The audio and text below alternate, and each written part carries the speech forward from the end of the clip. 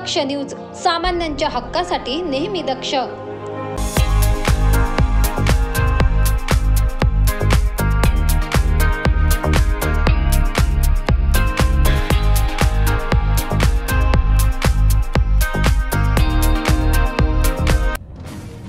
जाखोरी गावात बबलू सय्यद यांच्या शेतात अवघ्या पंचवीस दिवसात दुसरा बिबट्या सुद्धा पिंजऱ्यात जेरबंद झालाय.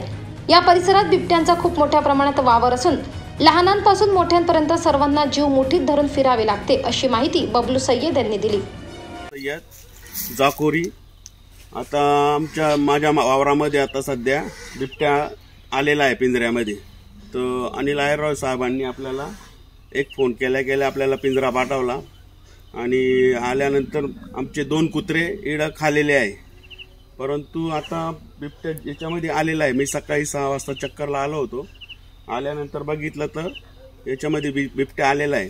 तर तुम्ही बघू शकता. लेतेच मी व्हिडिओ आणि खूप मोठा बिबट्या आहे तो.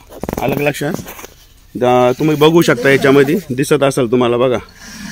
आणि खूप म्हणजे दोन आमचे तर दोन कुत्रे खाल्लेच परंतु आजूबाजूचे पण यांना आहे.